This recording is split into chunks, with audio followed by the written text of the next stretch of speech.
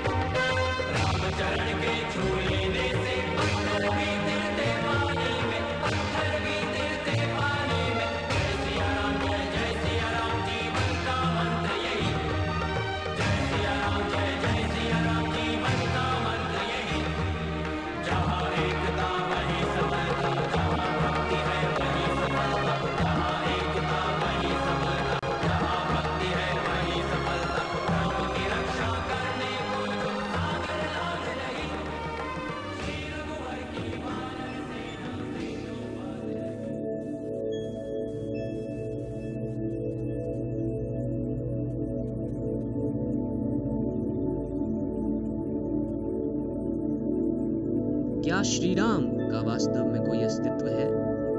क्या श्री राम ऐतिहासिक है? देवत्व आस्था दर्शाता है, जबकि इतिहास अस्तित्व का प्रमाण है। इतिहास को समझने के लिए आधुनिक उपकरणों का प्रयोग विगत एक शताब्दी से होते आ रहा है। इस वीडियो में रामायण को वैज्ञानिक दृष्टि से देखने की कोशिश की गई है। आइए देखें, क्या श्री राम वास्तव में ऐतिहासिक थे? क्या विशिष्ट तारीख जिनका उल्लेख रामायण में किया गया है?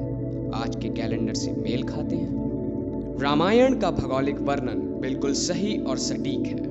हर वो स्थान जहाँ श्री राम गए, आज ऐतिहासिक सीमा चिन्ह या मंदिर के रूप में प्रसिद्ध है। रामायण और महाभारत प्राचीन हिंदी ग्रंथ हैं। इनमें अनेक खगोलीय गतिविधियों का उल्लेख किया गया है। उस समय के तारों की स्थिति जब हम आज के प्लानिटोरियम सॉफ्टवेयर में डालते हैं, तब हम उन तारीखों में पहुँचते हैं जब यह संयोग संभव थे। श्री राम का जन्मदिन श्री राम नवमी को मनाया जाता है। अर्थात श्री राम चैत्र मास के शुक्ल पक्ष की नवमी तिथि को जन्मे थे। रामायण के श्लोकों से हमें ग्रहों और नक्षत्रों की स्थिति का पता लगा सकते हैं। जब हम यह डेटा प्लानिटोरियम सॉफ्टवेयर में डालते हैं हमें श्री राम के जन्म की तिथि एवं समय ज्ञात होता है, जो है 10 जनवरी 5114 ईसा पूर्व। वह सारी तिथियाँ जो हमें रामायण से मिले हैं, आंतरिक रूप से पूरी तरह सिलसिलेवार है। यह काफ़ी हद तक सत्य है कि हमें आज श्री राम के अस्तित्व का कोई ठोस प्रमाण धरती पर नहीं मिलता है। वजह साफ़ है, प्लानिटोरियम सॉफ्टवेयर के अनुसार राम लगभग सात हज़ार वर्ष पूर्व मौजूद थे। तब से लेकर आज तक जाने कितने ही सल्तनत और वंशों ने भारत पर राज किया। नई सभ्यता ने पुरानी सभ्यताओं के अस्तित्व को छुपा दिया।